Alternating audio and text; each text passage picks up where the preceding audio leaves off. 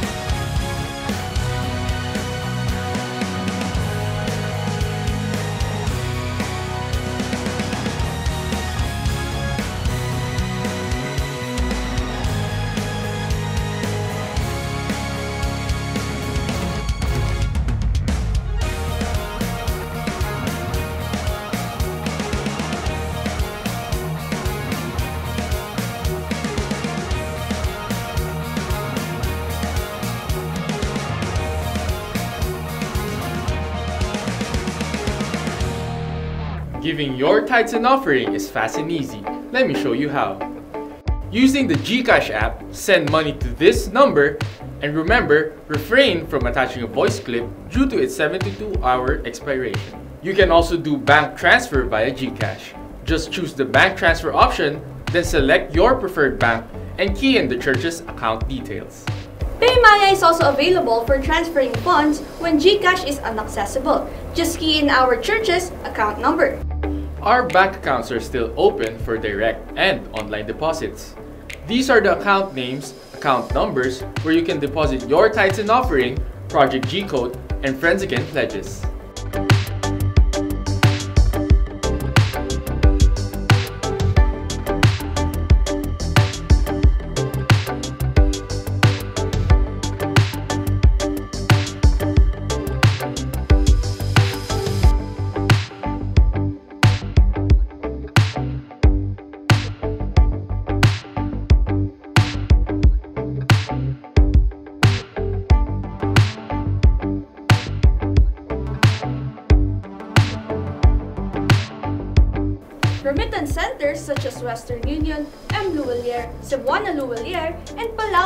Express are also your options when giving. Please write down Judith Lagunsan or Efren Lopez as receiver and provide this contact number.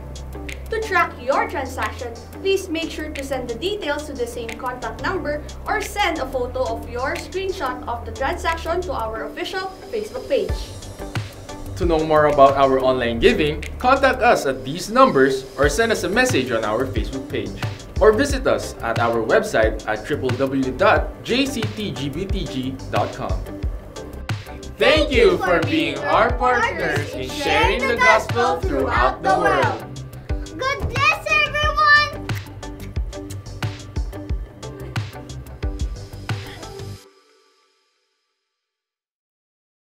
Are you feeling lonely, scared, or worried?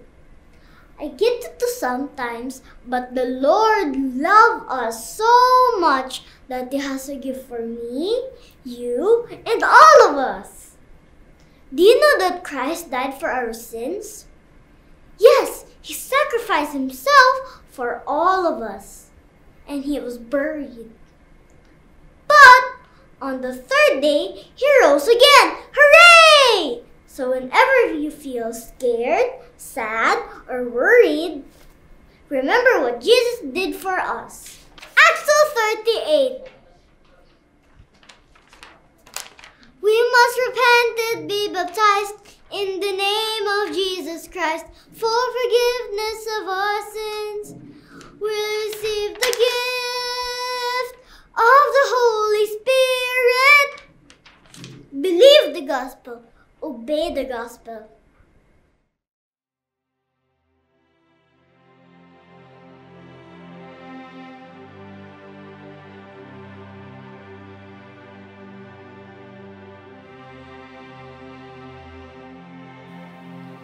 Purihin ng Panginoon, magandang magandang umaga po sa inyo lahat mga kapatid kaibigan. Welcome po sa ating friends again and Jesus Christ, God be the glory.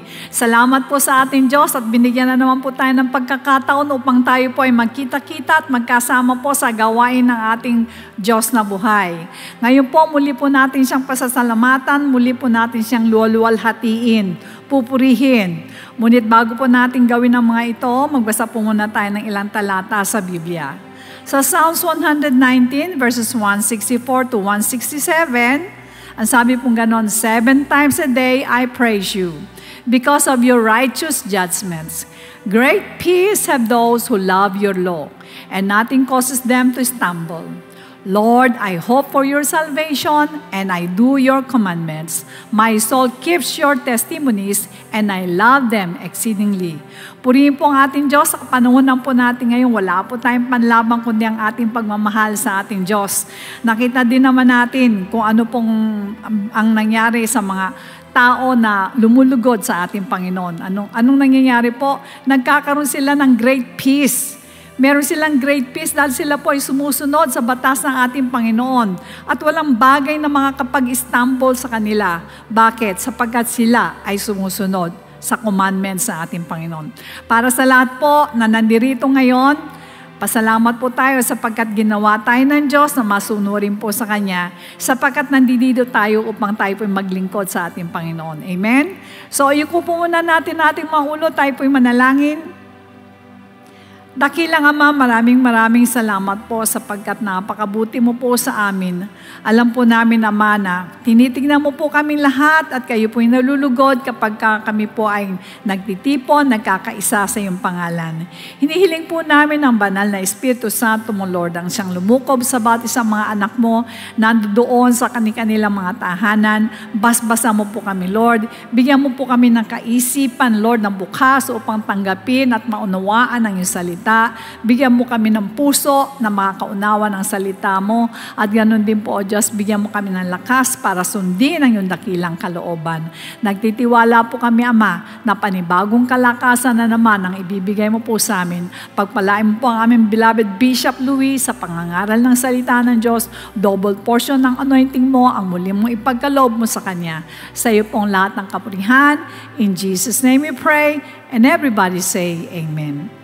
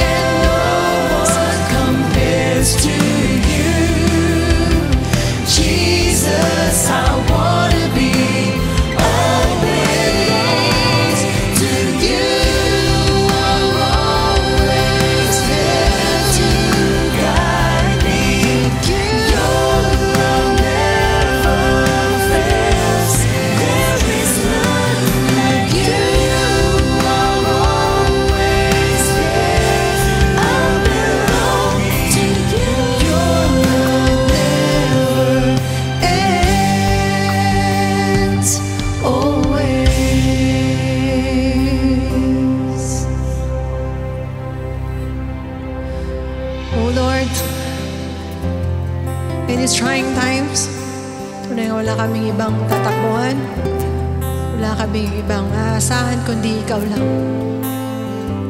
You are the only always that will never fail. You are the only always that we can count on. So please, Lord, don't ever, ever let us go. Please, Lord, hold us. Hold us. Always.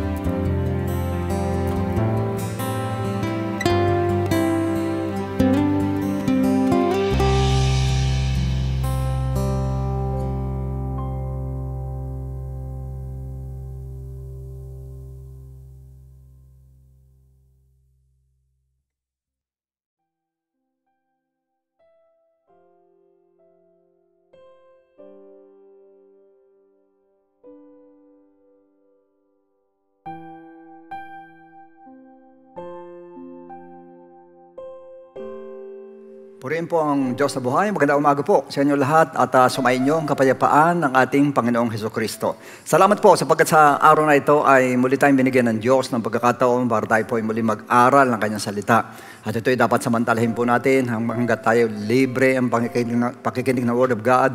Nandoon po at uh, talagang laganap ang salita ng Diyos. Samantalahin po natin sapagkat time will come. Naniniwala ako magkakaroon ng taggutom sa salita ng Diyos. Kaya kailangan pirmi tayo nakikinig po. Pero of course, bagong lahat ay manalangin muna tayo. Yuko natin ang ulo natin. Ipikit natin yung mga mata tayo mag, uh, mag-pray. Dakilang Ama, muli kami humingi ng habag sa iyo, Panginoon. Salamat po sa isa pang pagkakataon pinagkaloob mo sa amin na kami muli makinig na iyong salita. Buksan mo po ang aming puso't isipan, O Diyos, para na sa ganun po ay maunawaan namin ang lahat ng sasabihin mo. At tulutan mo, Lord, na ibigay mo sa akin, O Lord, ang special anointing mo, Diyos, para madama namin ang power mo sa umagang ito, Lord, at makita namin muli, Panginoon, na ikaw ay nangungusap sa iyong mga anak. Alam ko, Panginoon, palalakasin mo uli mga anak ko at bibigyan ng panibagong pag-asa, Panginoon, ang lahat ng mga nawawalan ng pag-asa.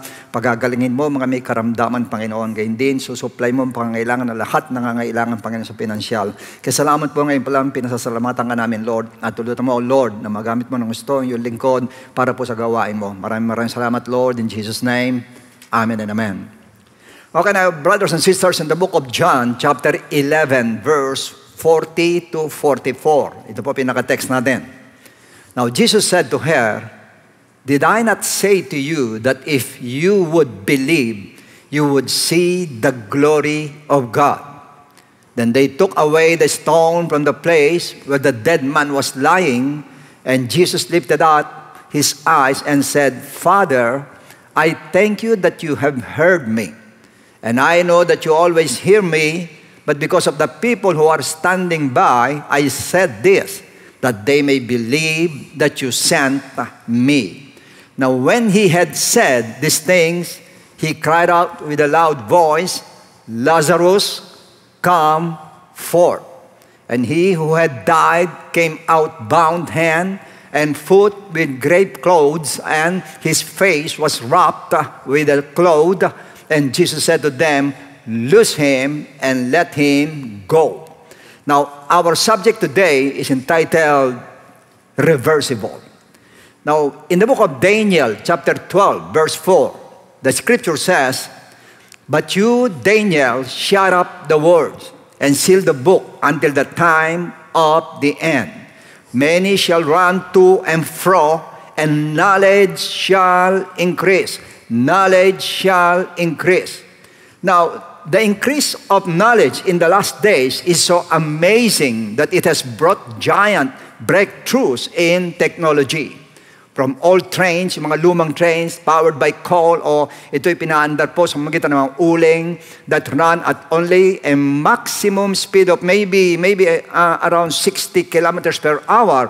Now we have modern trains powered by electricity running at a maximum speed of 450 kilometers, sometimes 500 kilometers per hour or more. Now, From single front engine, mga airplanes, pilots now get to fly modern aircrafts with complex jet or el- electric propulsion engines. Yung mga tinatawag nila mga Airbus na tinatawag na talaga mga modern po ng aeroplano na kabibilis sa ngayon po. These are examples of improvement in transportation. Na to mention, yung mga kotse po na ngayon po ay sinasabi mga by 2025, 2030, lumilipad na raw ang kotse. At may, may example na po talaga, pinakita na po. But meanwhile, from herbal, pagdating sa medicine naman, from her- herbal now, we have precise medicine for specific illnesses. Magmula sa Old Testament, herbal ang ginagamit po. Pero ngayon po, may mga gamot na na nakakagaling naman po ng, ah, ng karamdaman. From, uh, ayaw ko sabihin faulty medical, kundi dun sa mga old model medical instruments, patients today experience state-of-the-art treatments such as non-invasive laser surgery. Sa ngayon po, may, meron ng laser na tinatawag na wala na po yung open wound na operahan ka, hindi na po ganon. May mga cases na ganun po. Pero karamihan sa ngayon po, laser. Katulad niya, nagkaroon ka ng stone sa kidney, nile-laser na lang po ngayon. Hindi na bubuksan pa yung tiyan mo, kukunin yung, yung bato sa kidney. Hindi na po. Laser po, nadudurog mga kapatid. So diyan makita, that the increase in knowledge has also brought an admirable improvement when it comes to beauty. Pagka beautification, ayan, ako, dami po.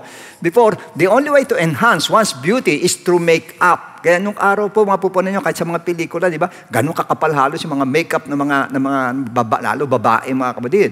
Wherein flows can only be hidden but can, uh, can never be reversed. Hindi pwede i-reverse. Pero nai-enhance naman po dahil doon sa mga makeup na yung mga kapatid. Kaya nung araw po, ang kakapal ng makeup nung araw. Kung makikita niyo yung mga lumang pelikula, mga kapatid, eh, hindi ko naman inabot yun, sabi ng natatay ko, mga kapatid. So, ibig sabihin, doon sa parte ngon, ang kakapal daw ng makeup nung araw. Kasi sa makeup, kinukuha nila. Kasi wala pa nga pong improvement nung dati pagdating sa beautification. But now, ah, iba po mga kapatid, yung pong irreversible ngayon sa mukha ng tao, nagiging reversible na po ngayon. Nare-reverse na po. It can be done. Nagagawa na po. For example, sa ilong, Isipin mo, miss, kahap, ngayon kausap mo, nakaupo yung ilong. Bay, buk, kinabukasan nakatayo na yung ilong. O dyan yung makikita mga kapatid. Iba, ibang klase ngayon talaga. Talaga advance ngayon, matindi po ngayon. Kaya magtataka tayo, ba't nagkaganon niya ka? Ba't ganon yung ilong niya? Biglang tumango si ka. Dati ka nakaupo ngayon, nakatayo na yung ilong niya. Ganyan po ngayon talaga. Ang mga ilong ngayon napapatayo na po. Hindi katulad doon dati, puro may nakaupo. Ngayon napapatayo na po. Dahil nga sa mga advancement na yan mga kapatid. Ngayon sabi naman ng iba, baka raw perversion yan, pinipervert natin yung gawa ng Diyos. Ay hindi po, wala pong perversion po doon. Kasi yung ginawa nyo lang yung ilong na nakaupo, pinatayo lang eh. Masama po yung ilong, pinalitan mo ng tenga, ayan, perversion po yan. Pero yung pong ganun, ilong, nakaupo, pinatayo mo, okay po, walang problema sa Lord yan mga kapatid. Yung mga sagi skin, yung nagsasag na skin, nakababanggay, nakaluslus na ganyan, biglang pwede ita, itinana, itatayo mga kapatid, nababatak po ngayon. Kinabukas sa mga gold cup, firm na firm na yung, yung mukha niya, firm na firm na mga kapatid. So in other words, kung, kung droopy eyelids naman, itong, itong mga bumabagsak na, pag nagkakaedad, yung mata bumabagsak. Abay, isang araw lang magugulat kayo, batak na bat yung bata, nakadilat ng gano'n, talagang naka, naka, nakataas na yung talukap na mata po niya. Ganyan ka-advance ngayon. Yung mga nakakalbong eyebrow, yung, yung mga yung kilay, nawawala na, nakakalbo na. na para ba nagwawala na, dalawa na ng kilay. Iba kalahati lang kilay. Isang araw lang kinabukasan, magulat ka, kompleto ilaw. Ang, ang ilaw, yung, kanya, yung kanyang kilay, kompleto na mga kapatid. Pati eyelashes, yung mga, yung mga tawag doon, yung pilik mata, pilik mata ngayon. Kahapon, abay, isipin mo yung, kanyang pilik mata, talagang wala na talaga. Para siyang manyika na isang bruha na hindi maintindihan. Wala na talagang pilik mata. Pero magugulat ka ngayon, yung, yung pilik mata nakaganon pa. Ang haba, nakaganon pa. Kaya lang problema rin, kaya tayo, pumikit, ka nakadilat doon, dahil nahuhulog pagka pumipikit yata. Pero at least, gumaganda na ngayon. Ang gandang tignan. Sabi sabi, nai-improve, nai-improve talaga. In Singapore, yung kamay na nadurog, ay, naibabalik po sa dati. Sabi nga nung pastor natin doon, meron doon dinada doon, talagang durog yung kamay talaga.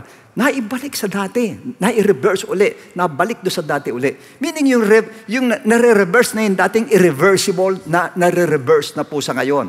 However, when it comes to internal organs, yan ang problema mga kapatid. For example, ang heart.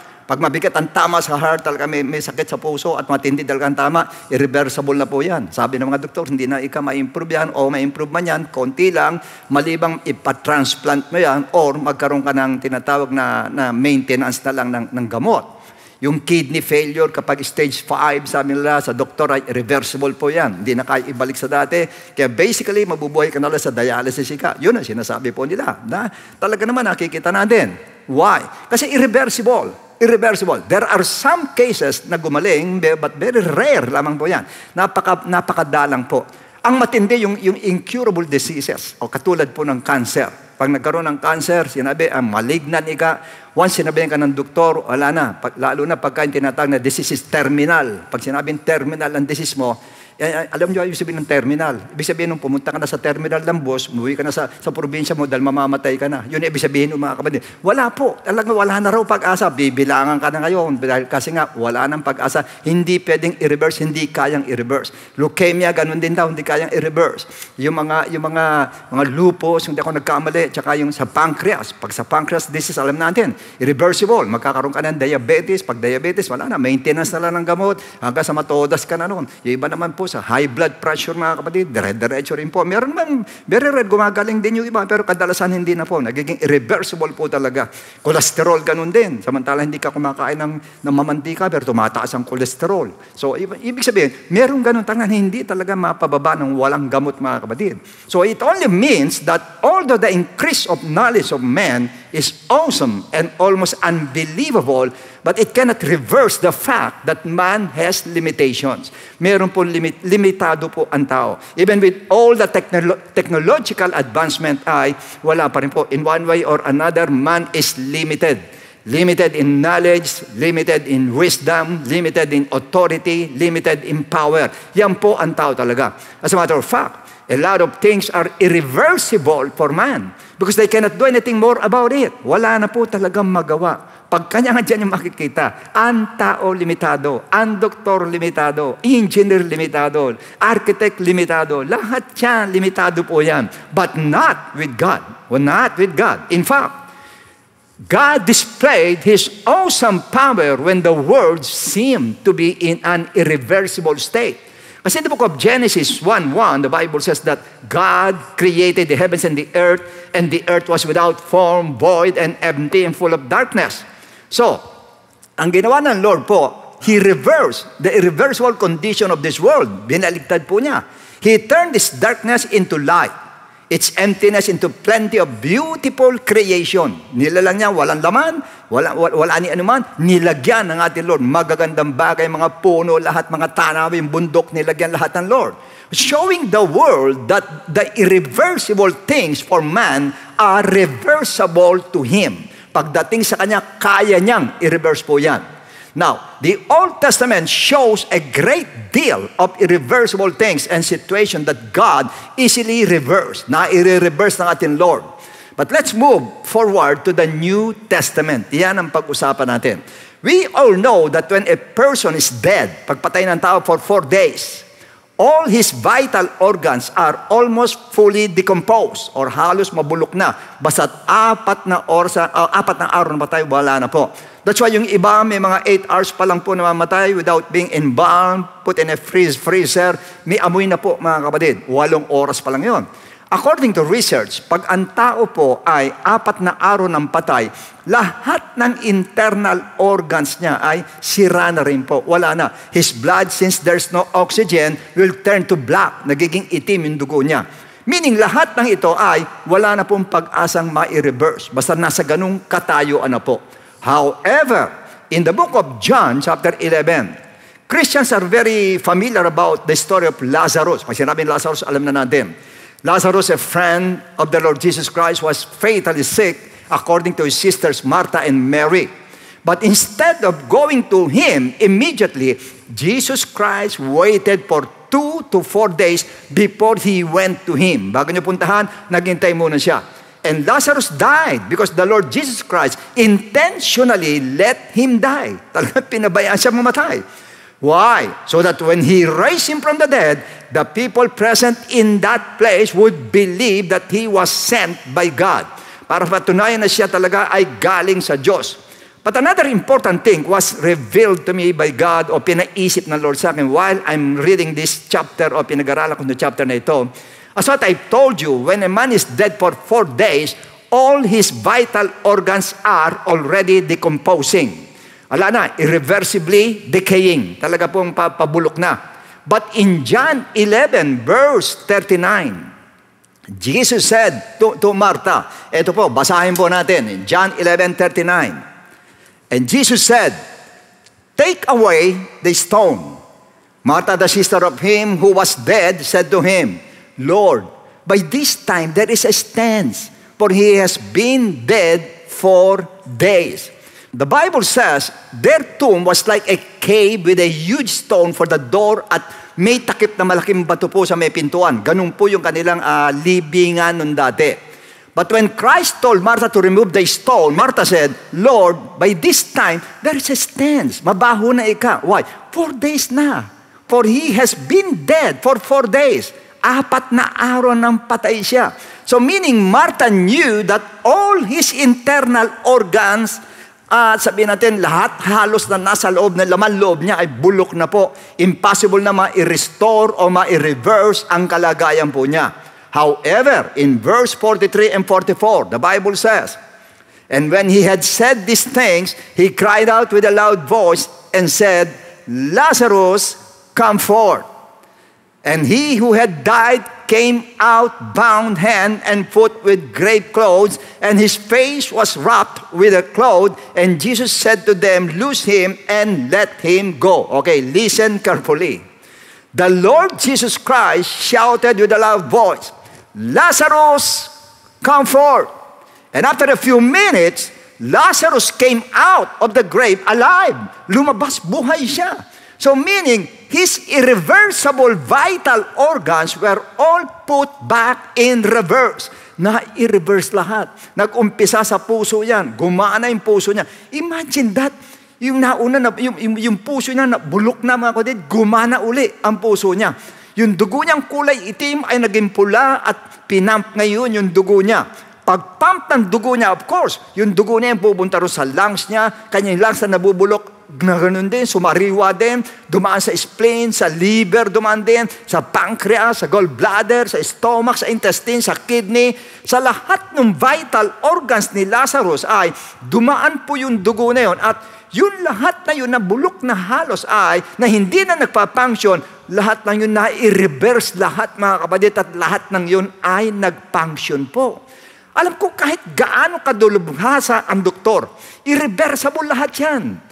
Hindi na ma-reverse yung mga kapatid. But with Christ, with Christ, lahat ng vital organs mong di na gumagana ay kaya niyang i-reverse at paganahin uli lahat ng ating Lord.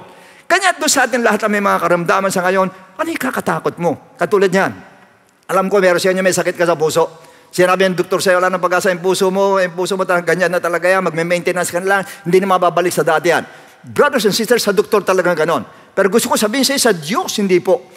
Kung isipin mo isang organ lang yan sa'yo na kailangan i-reverse. Kung kay Lazarus na lahat ng vital organs na reverse niya, how much more sa'yo? Isa lang yan. Isa lang sa'yo, marami kay, kay Lazarus na reverse eh. Sa'yo pa kaya? Ang kidney disease among stage 4, 5 daw, irreversible sa tao pero hindi sa Diyos. Sa tao, okay. Sa akin lang sinabi po. Honestly speaking po, marami nagtaka sa akin, mga doktor mismo nagtaka. Dahil dinala ko mga sa doktor noon, nagpa-check up ako, ang creatinine ko umabot halos ng 600 po. Sa reading nila, 600 plus. So kaya nasa isip nila, three doctors yan, ano sinabi gano'n? Bababa lang ika, maliban ko i-dialysis ka, kana dialysis ka. So you cannot blame them. Ipinag-aralan nila yan eh. Ten years sila nag-aral tungkol sa ganyan, kanya, siyempre po yung kanilang sasabihin po. According to their books at sa experience nila, talagang ganun po talaga. But according to our book, according dito po sa book natin, According to our book, nothing is impossible with God to those who believe. Kanya nga nagtaka sila sa akin eh. Dahil yung 600 na creatinine na kailangan daw i-dialysis ay, hindi ako nagpa-dialysis pero ngayon po nasa 200 na lang yung aking creatinine po. Ganong kalaking binaba. Yung mismong doktor nagtataka rin siguro kung bakit bumaba ng ganon, walang dialysis mga kapatid. Pero ako hindi ako nagtataka lahat ng hindi na gumagana sa vital organs mo, kayang i-reverse ng Lord, kayang paganahin ng Lord. Because He is God. He is God. He's the God of Abraham, the God of Isaac, the God of Jacob, the God of all the children of God, and my God, your God, and our God. And His name is Jesus. Yan po yung God natin mga kapatid. Kaya sabi ko sa inyo, lahat ng mga may karamdaman, hindi doktor ang may final say. Hindi po. Ang Diyos ang may final say. Hindi po ang doktor. Kapag ang doktor sinabi final say na wala tayong magawa, hanggang doon lang talaga sila. Limitado ang doktor. Okay ang doktor po ginagamit ang Lord, but there are times, sasabihin natin, yung limitations sila, lumilitaw talaga. Kaya pag sinabi hanggang doon na lang, sinabi ng doktor, sa doktor ganun yon, wala tayong magawa doon. Pero sa Diyos natin, hindi pa final sa ating Diyos. Sa Diyos natin, yung hindi nare-reverse ang doktor, kayang i-reverse ng ating Diyos sa buhay. Sa katunayan, mga kapatid, may ni-reverse ang ating Lord po. The best example po ay si Hezekiah mismo po. 2 Kings 21 to 6. Kayo na lang po magbasa. Now, he was scheduled, si Hezekiah was scheduled and appointed to die. His wounds were incurable and would lead to his death. Talaga sinabi na ni Isaiah sa kanya, ay, pinasasabi ng Diyos, yung daw sugat mo hindi nagagaling, mamamatay ka na raw sa magitan ng sugat na yan. But when, when King Hezekiah prayed, humarap siya sa wall. Pagharap sa wall ngayon, nanalangin siya. The decision of God was reversed. Na-reverse yung decision niya mga kapatid. Sinabi na niya, imagine, ang final say, ang God. However, kahit final say na siya, ni-reverse pa rin niya yung kanyang salita. Yung mismo salita, sinabi niya mamamatay si, si Hezekiah, ni-reverse pa rin ang ating Lord mga kapatid. Sa Hebrew 9.27 sabi, As it is appointed unto men to die once, but after this, the judgment. So, appointed death time sa tao, walang makakapigil po. But sinet aside ng Lord yung salita niya. The Lord nullified, nullified His word just reverse His decision. Ganun ang Diyos po natin. And Hezekiah was given 15 more years as extension. Binigyan pa labing limang taong extension mga kapatid. And who knows, sa inyo lahat nakikinig na nagkasakit ang mabigat, baka hindi mo alam, baka extension lang ang binigay ng Lord sa iyo. Pero hindi mo alam, baka 20 years pa binigay na extension sa iyo ng Lord. Nagugulat kayo, nakita niyo ibang bigat ang karamdaman, gumagano at ang tagal pa bago nabubuhay. Baka extension, in-extend ng Lord. Ni-reverse ang Lord. Dapat mamamatay ka, ni-reverse ng ating Panginoon po. Ganon ang Diyos natin, kaya wala tayong talo pag sa Diyos tayo naglingkod po. Basta yung paniniwala mo sa salita niya, paniniwala mo sa Lord, panindigan mo lang yung paniniwala mo. At ang Diyos natin ay kikilos po sa atin. At ang mabigat pa dyan, ito pa, Sinabi na nga na siya ay hindi mamamatay. Ito si Hezekiah ngayon. 2 Kings 28 to 11, ano sinabi ganon? And Hezekiah said to Isaiah, What is the sign that the Lord will heal me? Imagine that. Sinabi na nga ng propeta na nga yung nagsabi, gagaling ka na. Humihingi pa ng sign. Gusto ko may sign. Yan ang hirap sa ating kumisan. Sa ating misa sinasabi ng Lord sa preaching, sinabi gagaling ka. Sinabi sa preaching na ikaw, gagaling ka, babaong ka. Humihingi pa tayo ng sign sa ating Lord. Yung salita niya, sapat na. Sinabi na ng propeta, sapat na. Pero humihingi pa rin siya ng sign. Ano sabi niya ganon? Will heal me. And that I shall go up to the house of the Lord the third day. Ano magiging sign? And then Isaiah said, This is the sign to you from the Lord, that the Lord will do the thing which He has spoken. Shall the shadow go forward 10 degrees or go backward 10 degrees? Yung shadow po, yung kanilang orasan po, yung shadow po, yun ang tinitignan nila. Paabantihin daw mga kundi ng 10 degrees. Alam mo, sumagot siya si Kaya. Sabi niya si Kaya, it is an easy thing for the shadow to go down 10 degrees. No, but let the shadow go backward 10 degrees. Ang gusto niya i-reverse. Ang gusto niya i-reverse. Imagine that yung oras i-reverse mo. Anong, mag- anong gagawin ng Diyos para ma-reverse mo lahat yan? Diba? Ni-reverse na nga ng Diyos. Sinabi na sa kanya, okay, re-reverse ko, hindi ka na mamamatay. Ba, humingi pa ng sign ang sign na gusto niya, magre-reverse na naman ang Lord. Pero ginawa pa din ng Diyos. Ginawa pa rin ng Lord. Pina-atras niya mga kapatid yung shadow. Hindi ko malaman kung anong ginawa ng Lord doon, kung binaligtad niya ikot ng mundo, o paano. Hindi ko maintindihan mga kapatid, pero ang, ang Lord na bahala, siya nakakaalam mga kapatid. But one thing is for sure, ni-reverse na yung buhay niya, mabubuhay siya, ni-reverse pa mga kapatid. Sa science, reversion pa rin ang ginawa ng ating Lord mga kapatid. Ganong katindi itong ginawa ng ating Lord. That's why don't be afraid. Don't lose hope. Because for God, all our negative situation are reversible. Kaya pong ibalik ta rin, kayang baguhin ng ating Lord. In fact, He can reverse even your negative financial status. Ay, kaya pong gawin ng Lord yan. Everybody knows what happened in the wilderness. Nung dinala mga Israelites noon, there's no water, no trees, no food for the Israelites because it's a desert. Desert, siyempre wala lahat yan. But God reversed it. Ni-reverse ng Lord. Yung tubig, wala sila. Saan ang galing yung tubig? Dapat po ang tubig magagaling sa ilog o dagat. Ginawa niya sa bato nang galing. Sa bato nang galing yung tubig. Imagine that. Eh, no, no wait. Wala rin. Sa bato nang galing tubig, hindi lang yun. So wala silang flour. Wala silang, wala silang tinapay. Sa madali sabi, no storehouse, no baking flour. Ano ginawa ng Lord? Sa, sa langit po, pagka bumababa, ulan ang bumababa madalas, araw, ulan ang bumababa. Ito po hindi eh. Tinapay yung bumaba, mana yung bumaba, ni-reverse na naman ang Lord mga kapatid. Pinaulan ng mana, halos magkandasuka sila sa dami ng mana eh.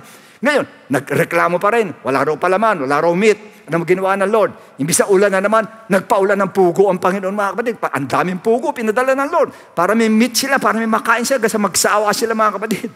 Pero alam niyo, pinakamabigat na ginawa ng Lord? Okay, makinig kayo, Mege. Nung hinabol na sila ng mga Egyptians, kandara pa sila sa takot. Eto mga Egyptians ngayon, ang dami, mga chariots, ya, ang dami nila, ang dami nila. Eto ngayon mga Israelita, nakita nila ngayon. Lumakit na lang, takot sila. Ano sabi ganun? Moses, ano gagawin namin? Mamamatay tayo dito. Ano dapat namin gawin? Yun ang sabi nila. Ano sabi ni Moses? Steady lang kayo. Bahala ang Lord dyan. Ano ginawa ng Diyos mga kapatid? Nag-reverse na naman ating Lord. Yung dagat ay ginawa niyang lupa. Uulitin ko ulit. Yung dagat, ginawa niyang lupa. Samantalang dagat yan, ginawa niyang lupa. Hinati niya talaga yung dagat para makadaan yung kanyang mga anak. Kaya sa madali sabi po, dahil sa pagkakarip, tandaan niyo tuwing magre-reverse ang Lord, may maliligtas. Tuwing magre-reverse ang Lord, may gumagaling. Tuwing magre-reverse ang Lord, may miracle. Yun yung sabihin ng Lord. So dito, ni-reverse ang Lord. Yung dagat, ginawa niyang lupa. Bumukas na naman mga kapatid. Nan, dumaan yung mga Israelites ngayon. Andyan sila ngayon. Sumunod. Itong mga Egyptian ngayon, sumunod din. Malayo distansya nila, pero nasa dagat na sila lahat na naging lupa. Okay, diretso. Anya, habulan sila, habulan. Ulitin ko ha, eto Israelita, ang humahabol, mga Egyptian. Hinahabol nila. Okay, habol, habol. Akala kasi ng mga Egyptian, para din sa kanila yung lupa na yun. Hindi alam para sa anaklak ng Diyos yun. Nang sila'y tumatawid na sa dagat, ano ang nangyari? yung pinakahuling Israelita na nakatawid doon sa kabilang ibayo. Ano ginawa ng Lord? Ito nga yung mga Egyptian ngayon. Binalik ng Lord yung tubig. Uulitin ko. Yung ginawa niyang lupa, binalik niya uli ang tubig. Why? Sapagkat pag dagat, dagat yan. Pag lupa, lupa yan. Yan ang tandaan niyo, Pirmi. Kasi madali sabi sa parting yon, bina, yung dagat na ginawa niyang lupa, binalik niya sa original, binalik niya sa lupa. Kanya yung lahat ng mga, mga lupa na naging dagat, huwag kayong magaganit. Isang araw magiging dagat uli yan, kasi dagat yan. Pirmin yung tatandaan, gagawin dagat uli ng Lord yan, kasi dagat yan. Kaya doon sa parte ng mga kapatid, binalik niya ngayon. Pag, kung hindi ako nagkakamali, sa dulo nag-umpisa, bumalik yung, yung tubig. Itong humahabol ngayon, bigla sila about face. About, oh, ay, ano malulunod tayo? Baligtad sila ngayon. Ano nangyari ngayon? Ito tubig sila na hinahabol ngayon. Ano ibig sabihin nun? By the itong mga humahabol, siya ngayon na hinahabol ngayon, binaligtad ng Lord ang sitwasyon. Ganong katindi ang Diyos. Kaya niyang baligtarin ang bawat sitwasyon. Kaya ng Lord i-reverse ang sitwasyon mo kahit pandemic, kayang i-reverse ng Lord yan mga kapatid. Kayang baligtarin ng Lord. Sa finances lang sa ngayon, okay, aminin natin. Marami kayo nahirapan sa finances. Marami nahirapan pagdating sa ganito. Pero aminin natin, marami ng kapatid ngayon na baligtad eh. Meron tayo isang kapatiran, Nung wala pang pandemic, ang kotse niya, adventure. Ngayon magkaroon ng pandemic, ang kotse niya, Mercedes-Benz. Imagine that mga kapatid. Kung kailan pan naging pandemic, tsaka naging Mercedes ang kotse niya. Samantala nung walang pandemic, nagtatsaga siya sa adventure na luma mga kapatid. Bakit nakagano'n? Pinakikita ng Lord. Kahayang balik rin ng Lord. Isa nating kapatid, ang pinatotoo ko na sa inyo. Nasa Italy siya. Nagsusupply siya ng euro money dito po para sa, para sa kanyang uh, business. Sinusupply niya rito mga kapatid. Nagkaroon ng problema yung business niya rito. Nanatili siya ngayon dito. Bumagsak yung, talagang bagsak yung business niya. Talagang umiiyak siya. Bagsak talaga mga kapatid. Sa kanya parang wala nang pag-asa talaga. Sabi ko sa huwag ka mag-alala. Babalik ng Lord yan. Babalik ng Lord yan. Sinabi sa kanya, marireverse yan. Makita mo, pagpapalain ka. Yung sinabi ko sa kanya, alam niyo, wala pang one year. Wala pang one year sa kanya. Magugulat ka ngayon po, yung peso pinadadala raw sa euro. Sa euro pinadadala ngayon yung peso, binaligtad eh. Dati yung euro pinadadala sa peso dito sa, sa Pilipinas. Ngayon po, yung, yung peso pinadadala doon sa... Ganong katumbas ng, ng, ng euro sa peso, mga kapatid? Napakalaki po. Pero kayang balik rin ng Lord. Ngayon na nagsusustento doon sana doon sa euro, yung peso nagsusustento, imagine that. Ganon binabaliktad ng Lord, ganon nire-reverse ng Lord, mga kapatid. Kayang gawin ng Lord, kayang baliktarin ng Lord. At yan ang buhay nating Kristiyano. Weather-weather lang yan. Madali sabi. Ngayon, ikaw ang binabanata ng devil. Isang araw, ikaw na magugulat ka. Ikaw naman ang bumabanat sa devil po. Ganun kasimple lang. Kayang balik ta rin ng Lord yan. Sa da, pag, isang araw magulat ka, dami mo na-convert, napapalakas ka sa testimony mo, praising dito, worship doon ginagawa mo, blessing dito, blessing doon gina, ang nangyayari sa'yo. Why? Paano ba binaliktad na ng Lord? Kanya kayo lahat na, na ngayon, may problema kayo ngayon sa finances, huwag kang magalala, kayang i-reverse ng Lord yan. At i-reverse ang Lord. Ichakin ko sa inyo, i-reverse ang Lord. Maniwala ka lang na kaya niyang baliktarin ang lahat ng mga pangyayari. Kaya niyang gawin mabuti, masama. Kaya niyang gawin ma, yung, yung itim gawin niyang puti. Kayang gawin ng ating Lord. Maniwala ka lang. At tityakin ko siya gagawin sa atin ng ating Panginoon. Ang dami ko nababalita mga kapatiran. Ngayon pinagbabala. Although iba hindi, pero ngayon iba pinagbabala. Kasi nga nandun yung isip nila eh. Na alam nila, hindi. Walang pandemic sa Lord. Kayang baguhin ng Lord yan. Kaya i-reverse ng Lord yan. At kaya talaga i-reverse ng Lord. Ano man ang pagkakataon, ano man bagay na, na, na nangyayari ngayon na, na negative, kaya i-reverse ng Lord. Ilan din ang gumaling sa ating mga kapatid. Gumaling sila dahil alam nila kayang i-reverse ng Lord yung katayuan nila. Kanya ngayon, yung bisa sila may sakit, magaling na sila. Pero mga hindi naniniwala, yun ang problema. Hanggang ngayon may sakit mga kapatid. Well, hindi ka naniniwala eh. Kayang i-reverse ng Lord. Uulitin ko, kaya. Kahit ano, kaya i-reverse ang Lord. Kayang gawin ng Lord. At sandali lang sa Lord. Kasi sinabi ng Panginoon, di ba? Is there anything too hard for the Lord? Meron ba mahirap para sa Lord? Well, walang mahirap tayo. Eh, imagine to patay lahat ng, yung, si Lazarus patay ang vital organs lahat. Isang sigaw lang, Lazarus! Come forth! Isang sigaw lang. Narinig lang yung sigaw ng Lazarus. Tinawag lang yung pangalan niya. Alam niyo kung tinawag yung pangalan niya? Eh kung sumigaw lang siya ng comfort, Abay mga kapatid, baka, baka, kundi sinabi yung pangalan, baka lahat ng patay, bumangon eh.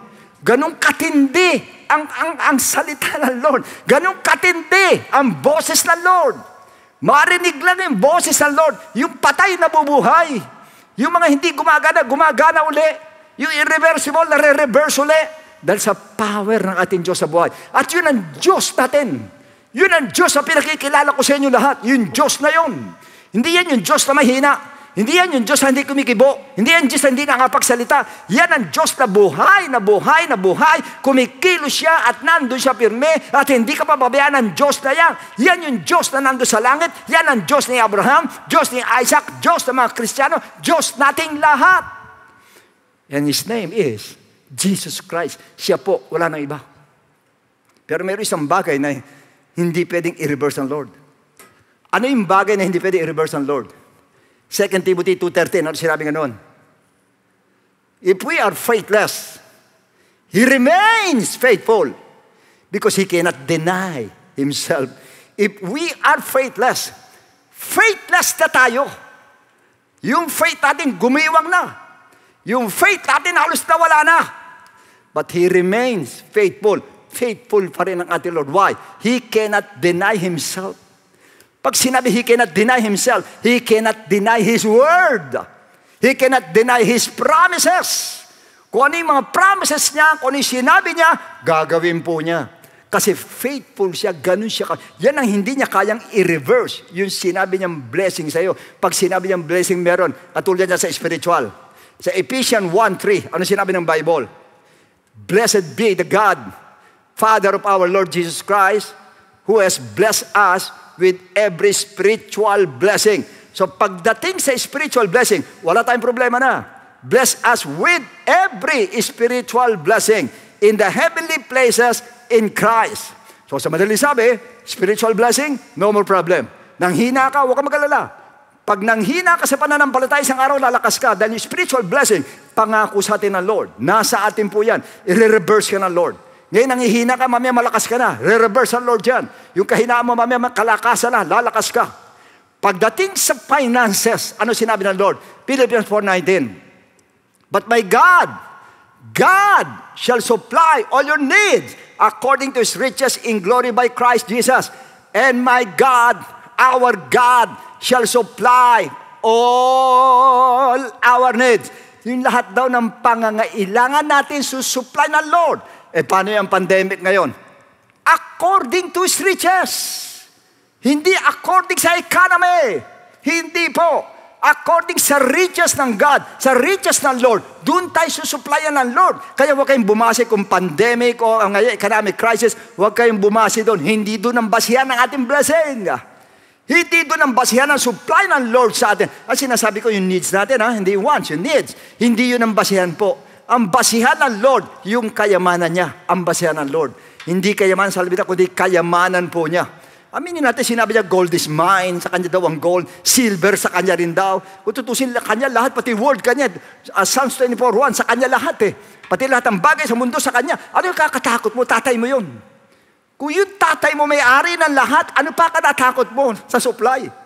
Natatakot ka dahil baka hindi mo alam na siya tatay mo. Yan ang tanong ngayon. Alam mo ba siya tatay mo? Kung alam mo siya tatay mo, ba't ka natatakot sa supply? Meron ba aman hindi nag-supply sa anak?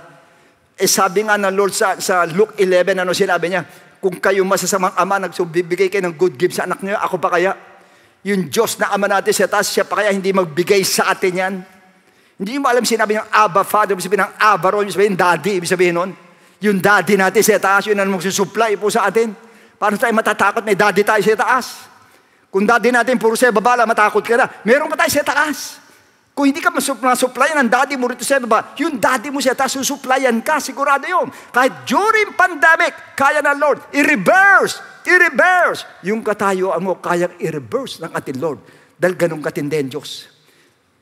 Pangatlo, sa physical mo may sakit ka. Ano sinabi? And we himself bore our sins in his own body on the tree, that we having died to sins, might live for righteousness, by whose stripes you were healed. Alam niyo, may mga preacher hindi naniniwala, ito daw spiritual healing ito. Hindi po ako naniniwala. Kasama po physical healing dyan. Kasama, kaya binanggit yung body niya sa madaling sabi.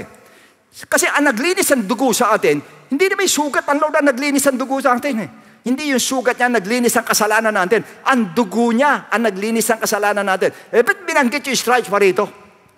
Bakit babanggit yung pa yung stripe? Kung ang, ang naglinis sa atin yung dugo, dapat yung dugo ang binanggit at hindi itong, hindi ito, kung ito spiritual ito, ang naglinis sa atin ng dugo, dapat by His blood, you were healed. Uh, spiritual yan, by His blood. Eh, eh hindi eh. By His stripes, yung kanyang latay, yung nagpagaling sa atin. Ibig sabihin, kasama po ang kagalingan sa pisikal, pangako ng Diyos sa atin. At yan ang tutuparin ng Lord, mga hindi niya mai-reverse yan. Dahil sinabi ng Lord yan.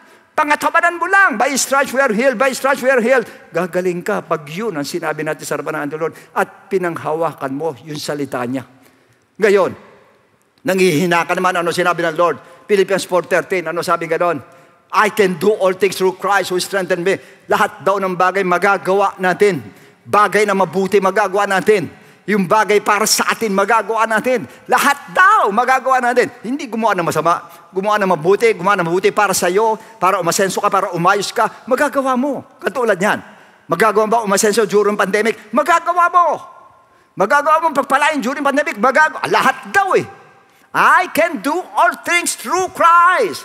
Because of Christ, not because of you, not because of your knowledge, not because of your wisdom, but because of God, because of Christ. Dahil sa Kanya, magagawa natin ang lahat ng bagay po. Mag- pati magtiis magagawa natin. Basta't nandiyan ang Diyos natin, yan ang Christ, magagawa po natin ang lahat. Naunawaan mo ba natin? Pero isang bagay po, gusto ko linawin po sa inyo lahat, kayo lahat na nakikinig ngayon sa umagang ito. Sana po sa magitan maikling topic na ito ng Lord, maunawaan ninyo.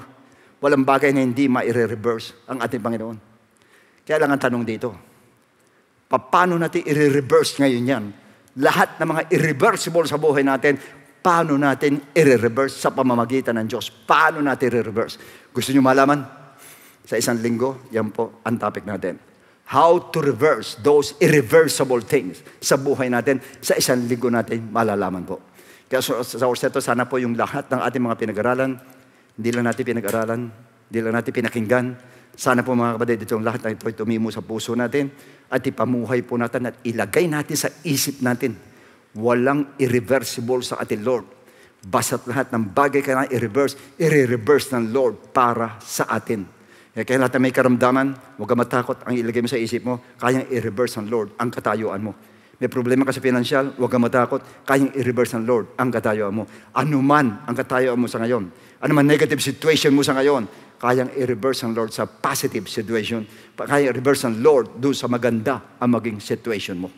So, purihin Diyos mga kapatid, sana po sa pamagitan ng topic na yan, lumakas yung pananampalataya natin. Kaya so, pwede ba yuko natin ang ulo natin, tayo manalangin? Dakilang Ama, salamat uli, Panginoon. Muli pinalakas mo kami, Panginoon ko. Pero sana po hindi na kami nakinig, Panginoon. Sana po, O Diyos, ay pamuhay namin yung lahat ng mga narinig namin, O Diyos, at paniwalaan namin ang gusto, O Lord. Na itong mga bagay na ito, Panginoon, ay kaya mong gawin lahat, Panginoon, para sa amin, Lord. Ikaw ang Diyos, Panginoon, na matapat.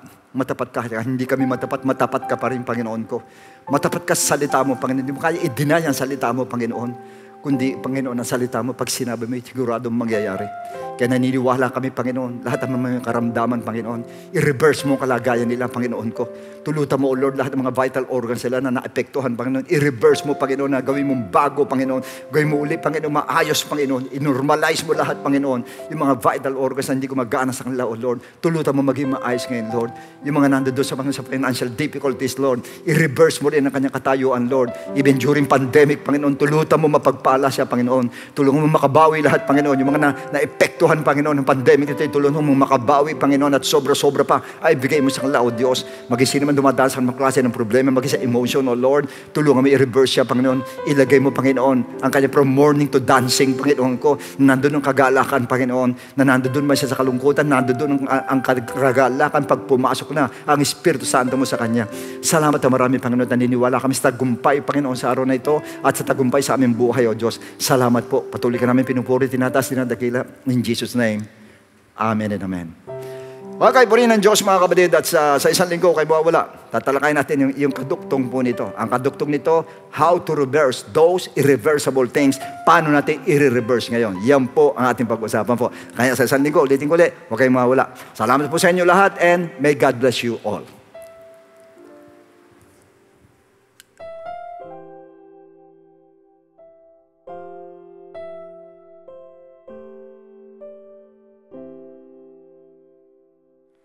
Praise the Lord mga kapatid. If you want those things to be reversed in your life, you need to go through that process. Kung ano po yung unang process na yon? You need to believe in the gospel of Jesus Christ. Now, what is the gospel of Jesus Christ? In the book of 1 Corinthians chapter 15, verses 1 to 4. Moreover, brethren, I declare to you the gospel which I preached to you, which also you received, and in which you stand, by which also you are saved if you hold fast that word which I preached to you, unless you believed in vain. For I delivered to you first of all that which I also received, that Christ died for our sins according to the Scriptures, and that he was buried, and that he rose again the third day according to the Scriptures. Now, the gospel of Christ is about the death of Christ, the burial of Christ, and the resurrection of Jesus Christ that we need to believe. Kaya lang po, right after we believe, hindi po dyan natatapos. We need to apply it to ourselves. Now, in what way? By obeying the gospel. Now, in the book of Acts chapter 2, verse 38, ang sabi po rito, Then Peter said to them, Repent, and let every one of you be baptized in the name of Jesus Christ for the remission of sins, and you shall receive the gift of the Holy Spirit. Now, first is repentance. It symbolizes the death of Christ. Tayo naman po'y magsisisi ng ating mga kasalanan. Yan naman po'y kasabay naman po ng pagkamatay ng ating Panginoon. So, para bagang pinapatay po natin ang ating mga kasalanan. Yan po ang unang hakbang at naniniwala po ako kahit gaano po kabigat ang nagawa nating kasalanan sa Panginoon hanggat nandoon po yung genuine na repentance, yung genuine na pagsisisi, the Lord is willing and able to forgive our sins. Yan po ang unang step. And second, we need to be baptized baptize. Yan naman po, it symbolizes the burial of Jesus Christ. Tayo naman po ay babautismuhan naman po sa tubig in the name of Jesus Christ. So yan naman po ay para bagang inililibing naman natin ang ating mga kasalanan kasabay naman po ng paglilibing kay Kristo. At hindi po yan paghuhugas lamang po ng katawan, kundi yan po ay nakakapag-alis po ng ating po mga kasalanan. At yan po, second step, we need to be baptized. And third, we need to receive the gift of the Holy Spirit, which symbolizes the resurrection of Jesus Christ o yung muli pong pagkabuhay ng ating Panginoon after three days. In fact, once we receive the gift of the Holy Spirit, we are also receiving power, power to overcome all the works of the flesh, all the works of the enemies in our lives. Yan po rin ang tutulong din po sa atin para makasunod po sa kalooban ng ating Panginoon. Kaya nga po kailangan maganap po itong gospel na ito sa atin. So unang-una, we need to repent. Second, we need to be baptized. And thirdly, we need to receive the gift of the Holy Spirit. And that is what we call the good news, and that is the gospel of Jesus Christ. So at this moment, sa lahat po ng gustong tumanggap sa ating Panginoon, pwede po ba na itas po ninyo yung dalawang kamay? Yuko po ninyo yung mga ulo, and please repeat after me with this prayer. Panginoong Jesus, dumudulog po ako sa iyo bilang isang makasalanan. Patawarin mo po ako sa lahat ng aking mga pagkakamali at pagkukulang. Tulungan mo po ako makapagsimula ng bagong buhay. At sa oras na ito, tinatanggap po kita bilang sariling tagapagligtas. At tinatanggap din po kita bilang Diyos ng aking buhay. Naniniwala po ako na ikaw ay namatay ikaw ay nilibing at sa ikatlong araw ay nabuhay na magmuli. Sa oras na ito, idagdag mo po ako sa iyong kaharian. Maraming maraming salamat po sa pangalan ni Jesus. Amen.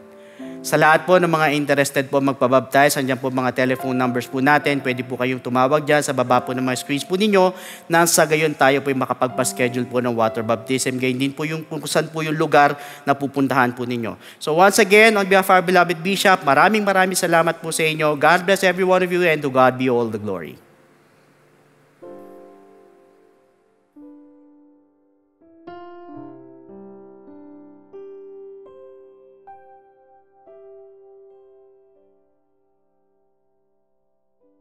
Purihin po ang Panginoon. Tunay nga po na sa ating Diyos, wala pong hindi kayang i-reverse. Kung meron man tayong mga sitwasyon na parang sa tingin natin irreversible na o ibig sabihin ay parang hindi na pwedeng i-repair yan o hindi na pwedeng baguhin yan, sa Panginoon po wala pong imposible. Kaya ngayon nga po mga tao, wala nga rin sa kanilang imposibleng i-reverse. Lahat yan posible, hindi po ba? Katulad ng tinalakay kanina ng ating beloved bishop. Kaya yung mga iba sa atin, di ba, pagka kunyari lang may problema sa ilong, abay, papa-reverse yan. Baguhin mo nga itong ilong ko. Eh, muntik na nga akong sabihin ako, pwede ko rin siguro pabago tong ilong ko. Praise God. Sa tao, wala nang imposible ngayon. Ano pa kaya sa ating Diyos? Yung mga irreversible na yan, i-reverse ng Lord yan. Yung mga sitwasyon natin na wala tayong pera, i-reverse ng Lord yan at bibigyan ka ng maraming pera. Kung may sakit ka, pagagalingin ka ng ating Panginoon. Kung may emotional may problema ka, pasasayin ka ng ating Diyos. Basta paniwalaan lang po natin ang kanyang mga tinuturo at matatanggap po natin ang lahat ng mga bagay na ipinangako niya sa atin. Isang bagay lang daw ang hindi niya kayang gawin. Yung siya po ay magbago at hindi niya ibigay ang lahat ng mga pangako sa atin. Amen? So, uh, salamat po sa ating Diyos sapagkat tayo po muli niyang pinasaya at muli niya tayong binigyan ng pag-asa sa ating mga buhay. Kaya sabi mo na sa katabi mo, o oh, i-reverse ni Lord yung problema mo. Yan, praise God. Okay, tayo po idadako na sa ating pong pagbibigay sa Matthew uh, chapter 22 verses 17 to 21. Tell us, therefore, what do you think?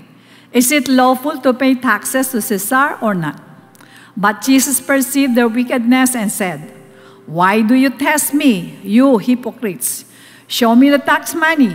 So they brought him a denarius. And he said to them, Whose image and inscription is this? They said to him, Caesar's. And he said to them, Render therefore to Caesar the things that are Caesar's, and to God the things that are God's. Amen. Purihin po ang Panginoon. Pag sinabi natin si SARS, oh, sige magbigay kayo ng dapat para kay si SARS. Ngayon po marami pong si SARS. Meron kang babayaran mga taxes, di ba dito tinatalakay taxes. Meron kang babayaran sa bahay, may pang matrikula, may pang market, marami. Pero ang sabi dito sa binasan, and to God the things that are God. Ibigay mo naman ang para sa Panginoon. So meaning to say, kapag kami tinatanggap tayo, lahat ng niya may pagdadalan yan eh. Hindi po ba? May si SARS na pinagdadalan dyan eh. Pero ibinukod ng Panginoon yan. I-render mo yung para kay si SAR. Ibigay mo yung para sa magulang mo. Ibigay mo yung para sa anak mo. Pero sa Diyos, ibigay mo rin ang para sa Kanya. Amen? So ngayon tayo po ay magbibigay ng para sa Panginoon. Ang maganda po, magbigay po tayo ng masaya. Amen. So nandirito po rin ang mga details po natin kung paano po tayo magbibigay. For complete details ng ating online giving, please refer to the ways and means to give sa ating pong ABP sa unang part ng ating programa. Maraming salamat din po sa mga kapatiran na walang sawang sumusuporta po sa ating mga gawain. At ganun din sa mga satellite members natin na nag-tune in lagi. And also please give your tithes and offerings to your respective satellite churches. Para naman sa mga viewers from other churches, pakibigay ang inyong kaloob sa inyo-inyo pong iglesia. Also, we have our one-on-one online counseling via Zoom every Sunday until 3 p.m. Please visit the link to be posted after our online service. Alright, purihin po ang ating Panginoon. Iyok muna po natin na mga ulo. Tayo po'y manalangin. Dakilang Ama, maraming maraming salamat po sa paggamit mo sa aming beloved Bishop Louie upang kami, Panginoon, ay magkaroon ng pag-asa sa kanya-kanyang mga sitwasyon na kinasadlakan po namin, lalo na't ganitong pandemic ang sitwasyon. Alam po namin, Lord, ng mga irreversible na sa tingin namin ay hindi namin nakakayanin, Panginoon, na i-repair. Sa iyo, walang imposible. I-reverse mo po yan. Kaya, Ama, tulungan mo po ang bawat isa. Tumaas po ang aming faith at mapagtagumpayan namin ang lahat mga problema po namin sa buhay. Sapagkat ang tawag sa amin ay mananampalataya. Kahit yung mga irreversible, gawin mo pong reversible ito. Tulungan mo po na kami po ay makapag-ilaw sa mga taong nakatingin sa amin kung paano namin bibigyan ng solusyon ang lahat ng mga problema namin. Hiniling po namin na iunat po ang mapagpalang kamay sa bawat isang mga anak mo nandito, gano'n din nandun sa mga malalayang lugar, paabot mo, Panginoon, ang inyong basbas. Basbasa mo po kami lahat, O Diyos, mula ulo hanggang talampakan. Huwag mong ipaubaya, Panginoon, sa deception, ang mga kaisipan, ang mga pisikal na pangatawan, huwag mong ipaubaya sa sakit, lalong higit sa COVID-19. Ganon din ang mga pinansyal ng iyong mga anak. Huwag mo paubaya, Panginoon, sa paghihikahos. Bagkos, ibuhos mo masaganang pagpapala sa bawat sa mga anak mo. At basbasan mo rin, Panginoon, ang alit handog ng mga anak. Ganon din po, Ama, patuloy po namin pinagpepre ang gawang ito. Diyos, tulungan mo po na maraming mga tao, mga panood, makapakinig at makinabang, lalong-lalo na po sa mensahe ng kaligtasan ng Acts 2.38. Tanggapin po nila sa kanilang mga buhay na ito po ay pinaka-basic principles ng kaligtasan and also pinagpe-pray po namin ng aming bansa, patuloy kang mangunat, mangusap sa amin pong uh, uh, presidente at sa lahat po ng mga nasasakupan niya kung paano po mapagtatagumpayan ang problema natin na nasa ganitong sitwasyon. Ganon din po, Diyos, pinapag-pray po namin, Lord, na lumaya na po kami sa COVID-19 at pinagpe-pray namin, Lord, lahat ng mga walang trabaho, bigyan mo po ng trabaho. Lahat ng mga negosyong nalugmok, i reverse mo, Panginoon, buhayin mo po, Panginoon. Salamat po ng marami. Inaasahan po namin ang tagumpay po namin sa lahat po ng pakikinig namin ng salita ng Diyos. Sa iyo pong lahat ng kapurihan. In Jesus' name we pray. And everybody say, Amen. Alright, maraming maraming salamat po sa inyong pagdalo sa ating gawain, sa inyong pong pakikinig ng salita ng Diyos. Alam ko pong kayo po ay patuloy na pagpapalain ng ating Panginoon. God bless you all and to God be the glory.